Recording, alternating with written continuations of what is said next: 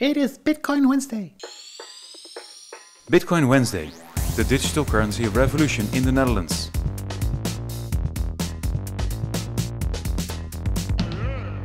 Register using the link on bitcoinwednesday.com.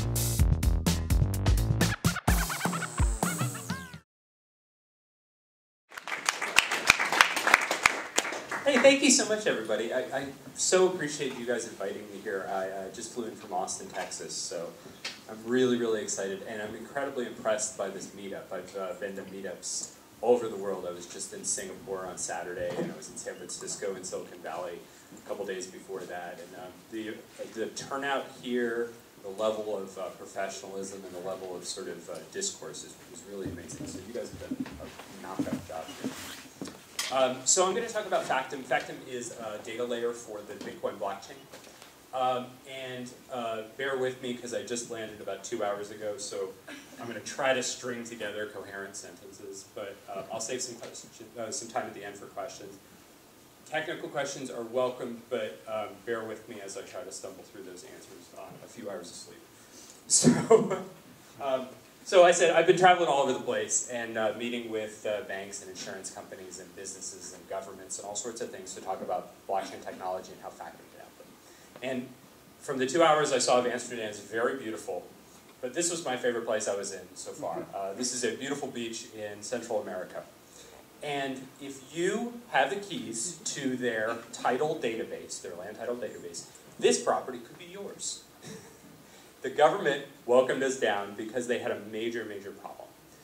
Uh, they built, uh, the World Bank spent $100 million building them a very expensive Oracle database and digitizing all the title records. And then some corrupt officials got a hold of the keys and started giving themselves beachfront property. So um, they, we started talking to them about how to make tamper-proof title records uh, using blockchains and how, um, how Factom can help them. So we flew down there, and um, this is what a title record looked like in Central America. And you can see this is, this is one where they basically just write every title next to each other. There's just basically a long line of them. And this book was falling apart because it started taped together. And this is what the record keeping looks like. Um, there's basically shelves and shelves of title books, right? And because now they've got a corrupt database, this is all that's left. And oh they put a lock on the door two days before I showed up. So there wasn't even a lock. You could walk downstairs, you could take a book out of there, you could pull it apart, put new title records in, and suddenly you own this beautiful beachfront property. Which is totally crazy, except that this is the way the whole developing world works, right? This is what it looks like. In fact, 70% of the titles throughout the developing world aren't even in the books. They don't even have records for them, right? So this is insane. This is a totally crazy problem. And uh, Hernando de Soto called it the $9 trillion worth of locked value because you can't really lend on this all that well. A mortgage in this Central American country costs 18% interest for a 10-year loan. Um, and you know, you're lucky if they'll give it to you because the title record's not very good. Um, all of those uh, undocumented properties you can't do contracts against, you can't do mineral rights. It's basically land that you can't really do anything. So they brought us down, and what we can do with Factom, like I said, Factom is a data layer for the blockchain, right? So it's just blank paper you write once and you never erase, right? So you can really start building truly tamper-proof records. Big deal for titles, right? Because that's something you don't want to ever have anybody tamper with that system of record. But it turns out that almost every business system has a system of record problem, right? We were talking about privacy earlier. Privacy has a major system of record problem. Uh, talk about uh, accounting or auditing. These are all just basically like big organizations that do nothing but record keeping, and records are only as secure as whoever has the keys, right? So the other thing about Factom is Factom really doesn't do all that much. um, Factom does practically nothing. Factom is basically just a way to organize hashes and um, take them, Merkle tree them down to a single hash and store that single hash on the blockchain. So basically, Factom collects all the data that you want to do, and we collect it in hashes. You can put regular data in, but it's just getting expensive. Um, and then every 10 minutes, we put an anchor into the Bitcoin blockchain.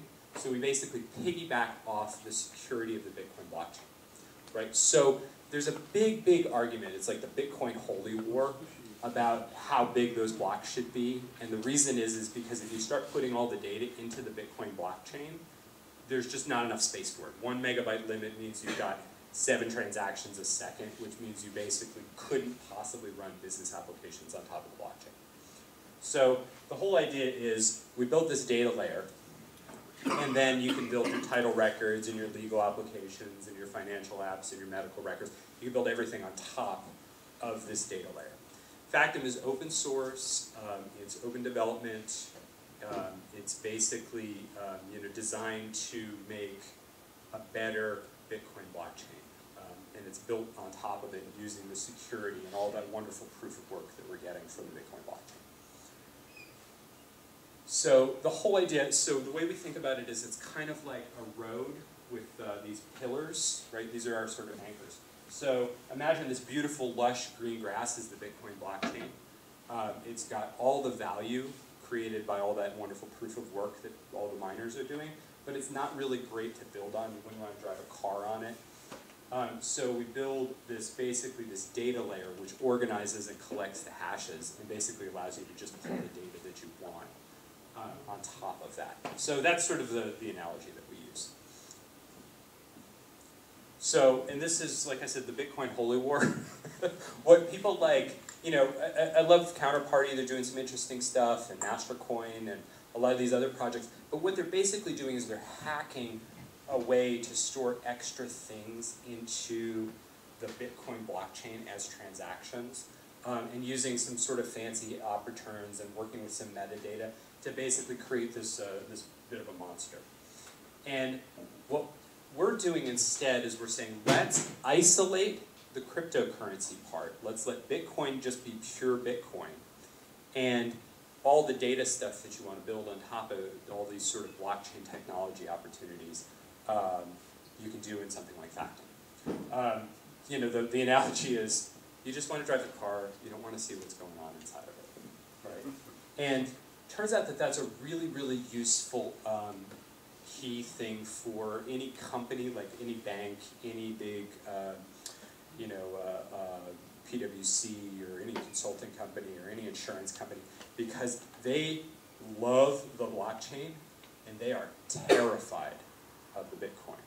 And the reason is is because uh, regulations are so so gray. Um, in the U.S., all of the money transfer licenses are um, criminal statutes, right? So their lawyers are like, you cannot play in cryptocurrency at all. That's why all the banks are very like you know, one toe in. The, uh, the first big announcement that was so exciting um, that we heard earlier was the Coinbase $75 million announcement of um, investment, and because a lot of banks are finally putting some, some cash into Bitcoin to explore that. Um, so, but this message is really interesting because now you can really play in blockchain technology without ever having a wallet, without ever having to touch coins, without ever having to, um, you know, sort of play in crypto um, which means that we can start taking the conversation away from like the coin part and start talking about all this wonderful blockchain technology. So a couple other examples of things you could do. Um, uh, so the cool thing about the Bitcoin blockchain is it's basically a big transparent ledger, right? We know where every transaction came from, we know where every transaction went.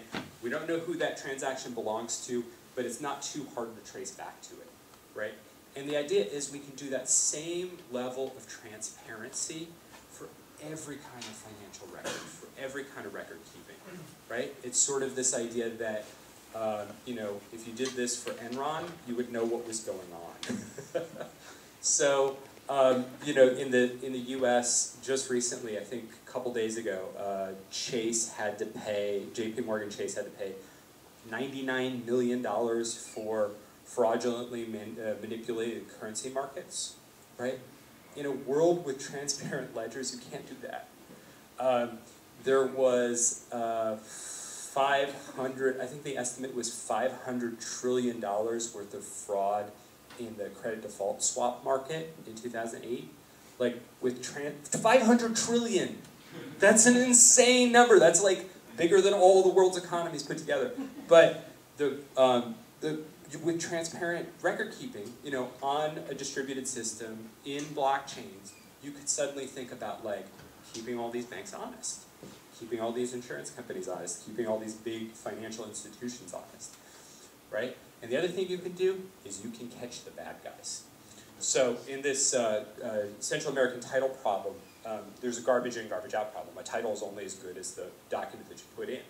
So what we, what we did as a solution is the attorney signs off and agrees that it's not fraudulent. We get that captured in the blockchain. Every person who touches that record, we know it's captured in the blockchain. Every step along the way of that record before it becomes officially part of the title, also captured in the blockchain. Now I've got something to take to court, right? Because how many people went to jail with that $500 trillion worth of fraud? Zero. Right? So we've got this idea that honesty is subversive, right? Richard Nixon had to step down because he pulled 15 seconds out of his transcripts. Um, you know, when you start pulling records out and when you start monkeying with records, you should be caught, and it's time that those people go to jail. So that's basically what Factom's up to. Um, I'm going to open up to questions. You can ask me technical questions. You can ask me business use case questions. Um, you can ask me about Austin, Texas, which is beautiful. Go for it. Yeah, thanks. Uh, re really interesting. Um, I was wondering about what you said um, that transparency is is, uh, is really um, it's important and it's always good. And you said something about financial auditing, and things with Enron wouldn't have happened with uh, if everything would have been transparent. The thing is, I think the people within Enron, obviously, but but also let's say in the more honest companies would say we don't want everything to be transparent because we also have a competitive position to think about, and if our competi competitors know exactly what we're doing, so all the transactions that we're making, it would make it really uh, easy to check, but it would also make it really easy to find out what we're doing.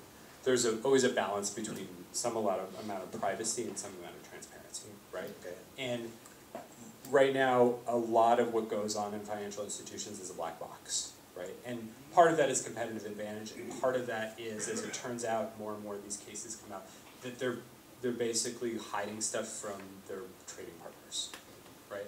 So, um, like Factom is built around this idea that you take your private data and you hash it, and then you have a staged revealable secrets, right? You know, I don't have to tell, I can prove that it's mine without giving you that whole document that has your social security number or your ID numbers or your how much money you made and that kind of stuff, right?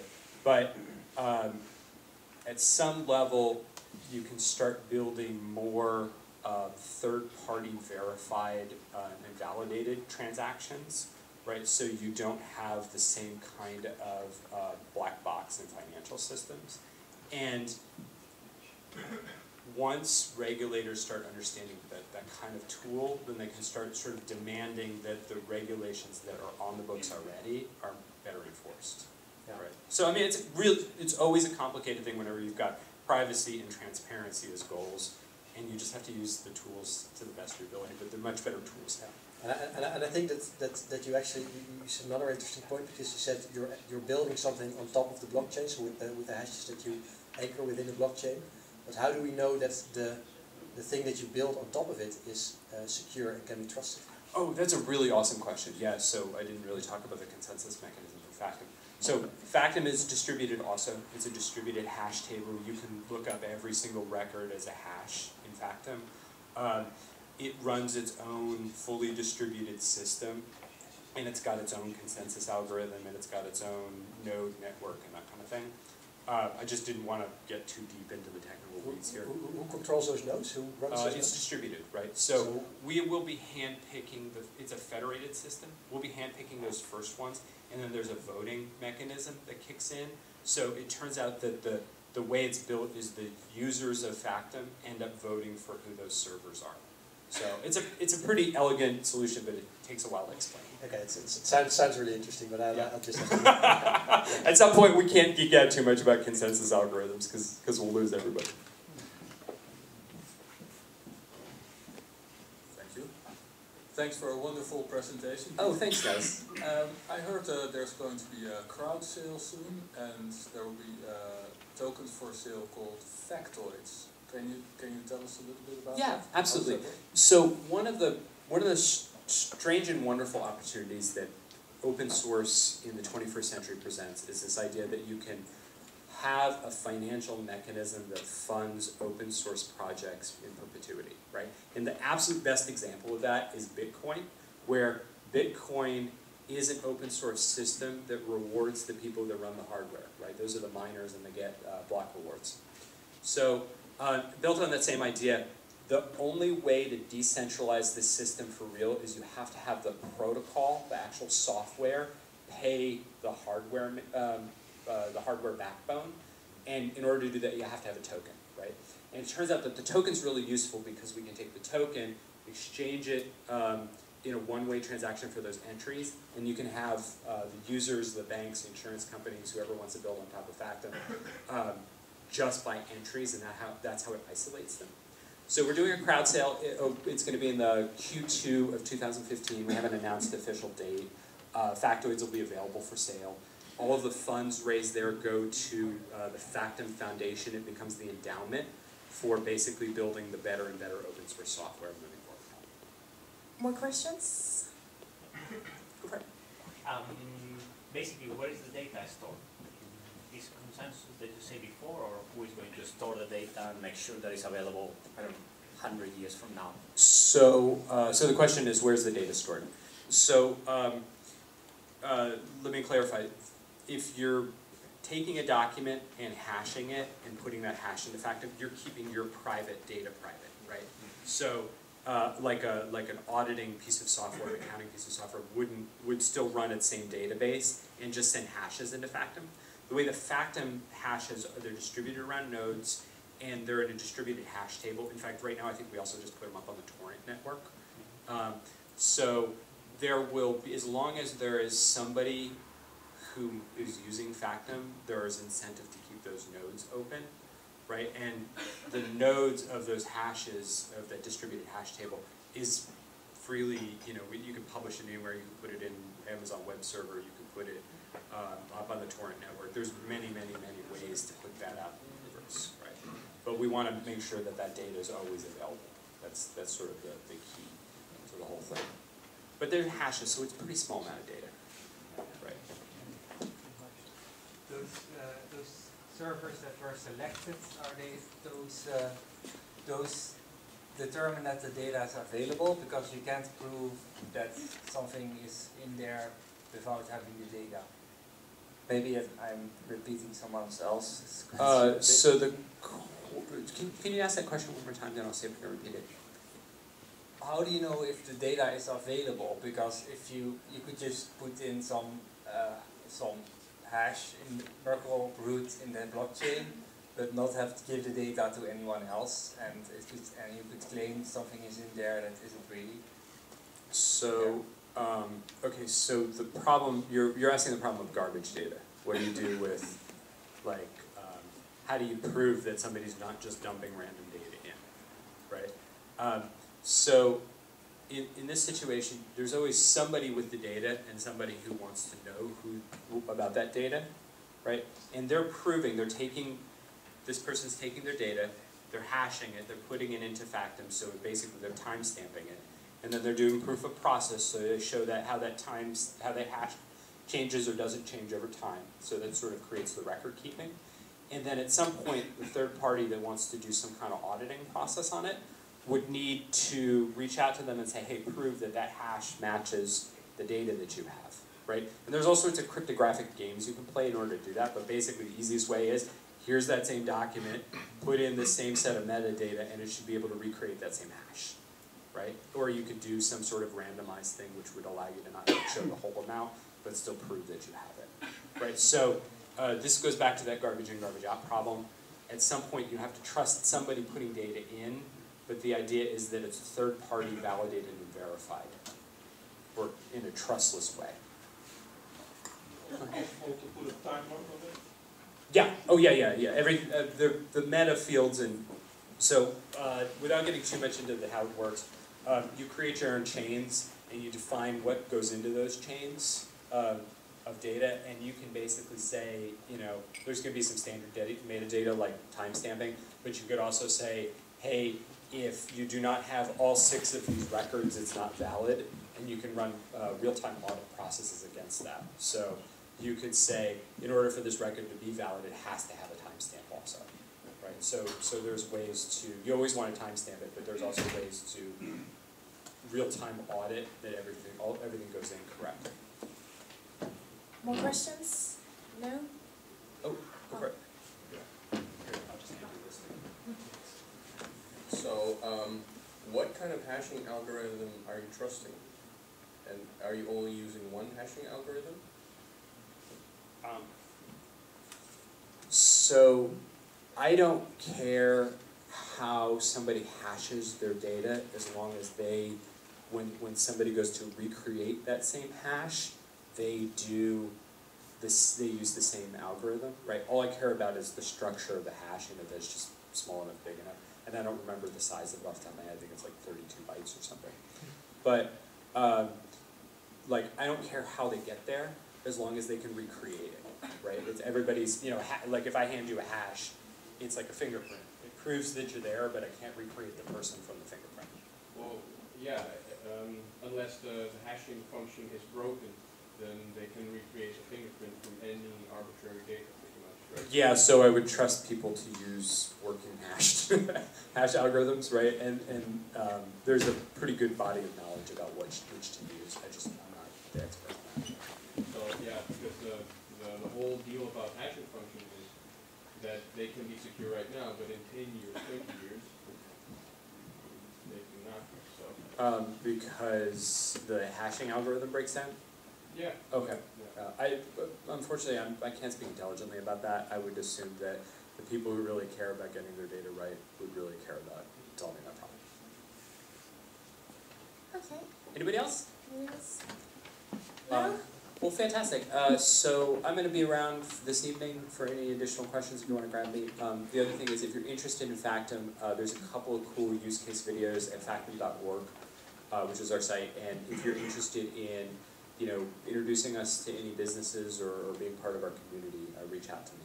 I'm Peter at factom.org. Okay, thanks so much, guys.